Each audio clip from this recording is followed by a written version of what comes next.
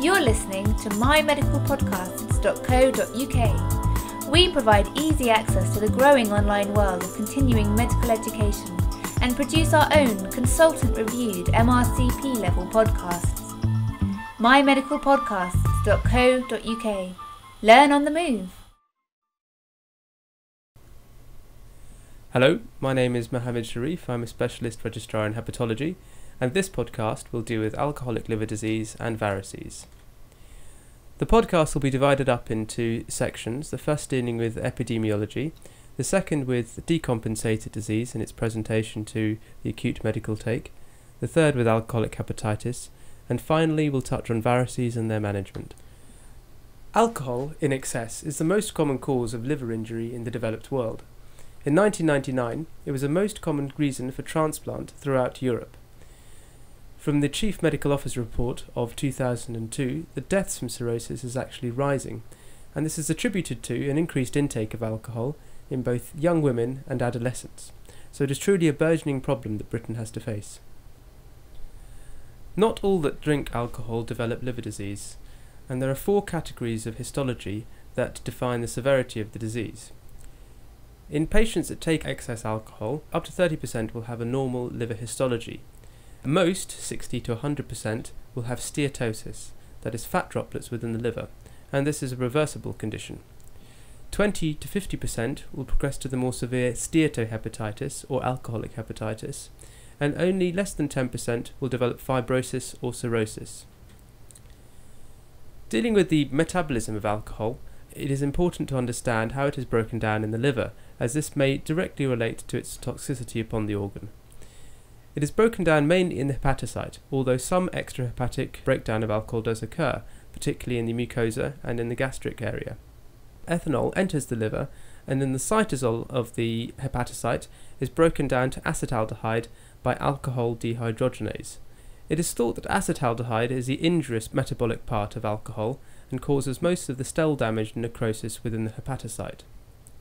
Acetaldehyde in turn is broken down to acetate by aldehyde dehydrogenase, and acetate via extrahepatic oxidation is broken down to carbon dioxide and water. Please refer to the figure in the podcast handout. The dose and duration of alcohol is thought to have a direct effect upon the toxicity of the liver.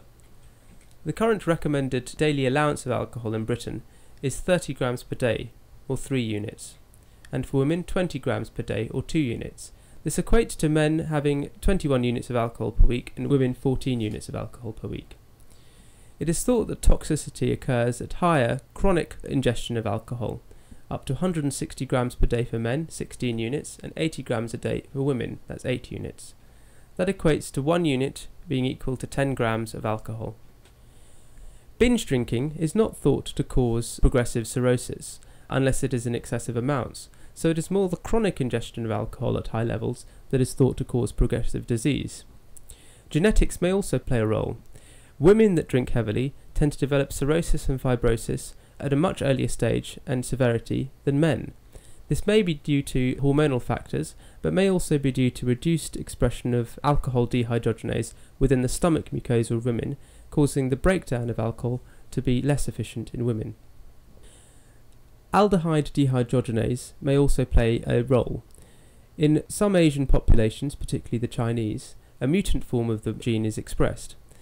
This causes a typical flushing reaction after alcohol is ingested. But in those that become tolerant to this reaction, the breakdown of alcohol is much slower and probably has a more injurious effect upon the liver, therefore speeding cirrhosis. Both high body mass index and diabetes can also accelerate the rate of liver disease progression. This is coined the two hit hypothesis and probably occurs as there are two factors causing liver damage, either diabetes and high BMI plus alcohol. Immune factors may also play a role. Substances such as TNF and interleukin 10 are thought to cause injury to the liver through alcohol mediated damage.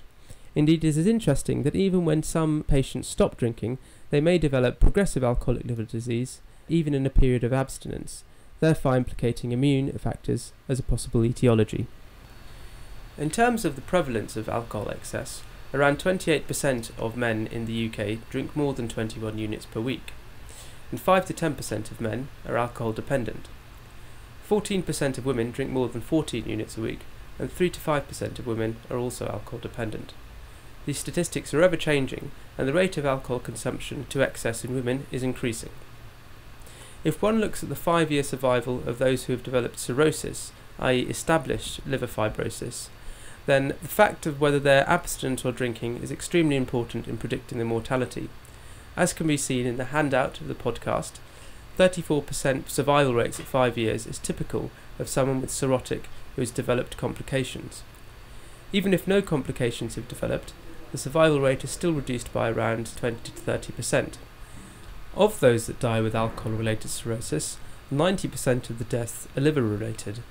33% of these are due to hepatocellular carcinoma. So, screening for hepatocellular carcinoma by the use of alpha fetoprotein and ultrasounds is one of the cornerstones of management of those with cirrhosis in the outpatient clinic. Next, we'll deal with the acute decompensation of alcoholic liver disease and its presentation to the General Medical Hospital. Acute decompensation usually occurs in those with cirrhosis and portal hypertension, but can occur in the non cirrhotic patients in a severe alcoholic hepatitis. It is classified by the presence of jaundice, encephalopathy, ascites, or a variceal bleed. The precipitants of decompensation can be multivariant, and each has to be assiduously excluded and treated. Gastrointestinal bleeding, such as a variceal or gastric variceal bleed, infection, chest infections, urinary infections, or spontaneous bacterial peritonitis. Drugs such as opiates may cause an episode of encephalopathy in those who are cirrhotic. An excess of alcohol or a step up in the amount of alcohol taken, or the development of a tumour such as hepatocellular carcinoma may also induce decompensation.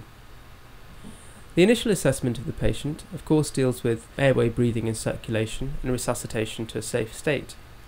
Signs of decompensation, such as an asterixis or flap, must be carefully looked for and the precipitant in terms of infection, bleeding, etc., must be examined for, and this in particular must include a rectal examination to examine for melena.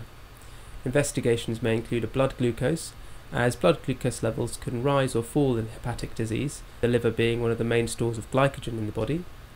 Blood tests, including an INR group and save and amylase, a chest x ray, cultures, both sputum, blood, urine, and ascitic if possible, and of course an ascitic tap must be performed for these cultures and the cell count can be gauged.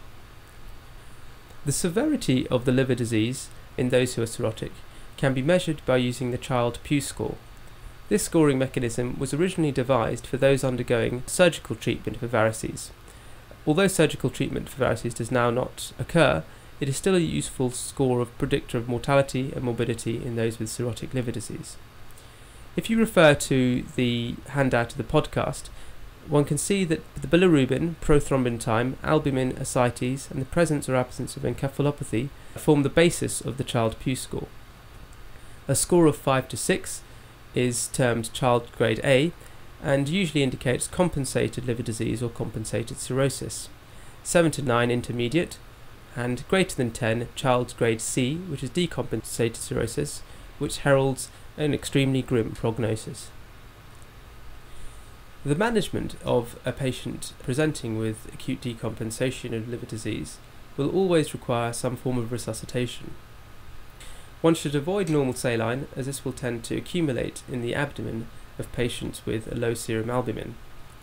Intravenous vitamins, especially thiamine, should be given before dextrose in those who are drinking heavily as they often tend to be vitamin deficient. One should look carefully and exclude cerebral edema and be careful in giving too much 5% dextrose as this may precipitate this. If the patient is acutely withdrawing from alcohol, then chlordiazepoxide should be prescribed, but care should be taken to exclude any form of encephalopathy, as chlordiazepoxide is a sedative and will exacerbate this. In those with liver disease, the clotting factors are not normally produced at a sufficient rate from the liver. This causes a coagulopathy. This should be corrected if possible. Often those who are drinking heavily will also be deficient in vitamin K, which is a fat-soluble vitamin taken in the diet. This should be also supplemented either intravenously or orally at the outset.